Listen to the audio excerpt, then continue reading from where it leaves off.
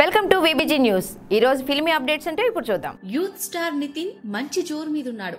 నితిన్ నటించిన రంగ్దే చిత్రం మార్చి ఇరవై ఆరున విడుదల కానుండగా చెక్ ఫిబ్రవరి ఇరవై ఆరున ప్రేక్షకుల ముందుకు రానుంది. ఈ రెండు సినిమాలపై అభిమానులలో భారీ అంచనాలు ఉండగా వీటికి సంబంధించి ప్రమోషన్ కార్యక్రమాలు మొదలు పెట్టారు మరోవైపు నితిన్ మేర్లపాక గాంధీ దర్శకత్వంలో ఓ సినిమా చేస్తున్నాడు. నితిన్ ముప్పైవ సినిమాగా రూపొందుతున్న చిత్ర షూటింగ్ దుబాయ్లో జరుగుతున్నట్టు తెలుస్తోంది. బాలీవుడ్లో సూపర్ హిట్గా నిలిచిన అందాదున్ సినిమాకి రీమేక్గా తెరకెక్కుతున్న ఈ సినిమాలో నితిన్ సరసన నభా నటేష్ కథానాయికగా నటిస్తుంది. తాజాగా చిత్ర రిలీజ్ డేట్ పోస్టర్ విడుదల చేశారు.